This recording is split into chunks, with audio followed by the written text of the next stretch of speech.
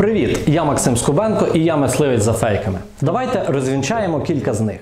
Почув сьогодні в магазині, що прийде літо, буде дуже спекотно. І той коронавірус ослабне, а пандемія взагалі зникне. Кажуть, що саме через це в Африці люди не хворіють. Схоже на правду. А ти що про це думаєш? Дякую, тату. На жаль, і це фейк. По-перше, хворіють і в Африці. Наприклад, у Єгипті уже більше 500 людей померло від COVID-19. А по-друге, за даними Всесвітньої організації охорони здоров'я, розповсюдження коронавірусу взагалі не залежить від погодних умов ані від спеки, ані від морозів, ані від завірюх.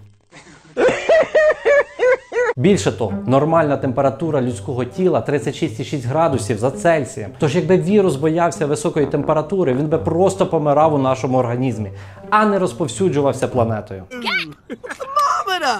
Thanks. I love it, Melman. I love it.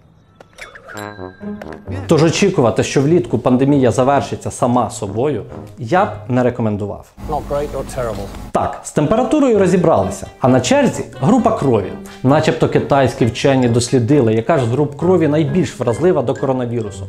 Новина миттю розлетілась інтернетом, і її підхопила частина українських ЗМІ.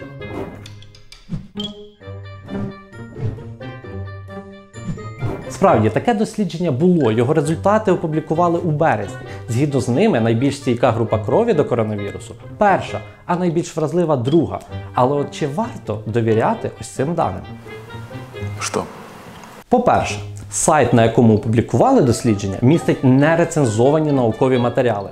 Іншими словами, оприлюднені дані як мінімум є попередніми. По-друге, самі автори дослідження застерігають, що їхні висновки надто рано використовувати у клінічній практиці. Остановитесь! Ну і нарешті, вибірка у 2000 пацієнтів. Серйозно, така вибірка вважається надто малою для висновків про таку кількість хворих, які вже є у світі. Висновок цьому дослідженню довіряти не варто. Група крові не той фактор, який ми можемо обрати для себе добровільно. А от уникати стресу це одна із рекомендацій, як реально може зменшити шанси захворіти на COVID-19. Тож не переймайтеся надто сильно результатами досліджень із сумнівною методологією. Мийте руки, не торкайтеся обличчя, дотримуйтеся дистанції і ведіть здоровий спосіб життя. До речі, про здоровий спосіб життя. Кажуть, що цигарки рятують від коронавірусу. Мовляв, серед тих, хто захворів, підозріло мало залежних від тютюну людей. That's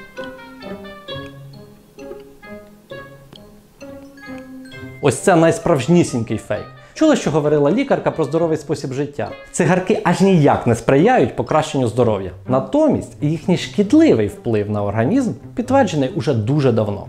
This calls for a drink. Так само, до речі, не допомагають вберегтись від коронавірусу алкоголь, часник, вітамін С та інші народні засоби. Сприймайте таку інформацію відповідально. А я Максим Скубенко, мисливець за фейками. Не беріть дурного в голову, побачимось.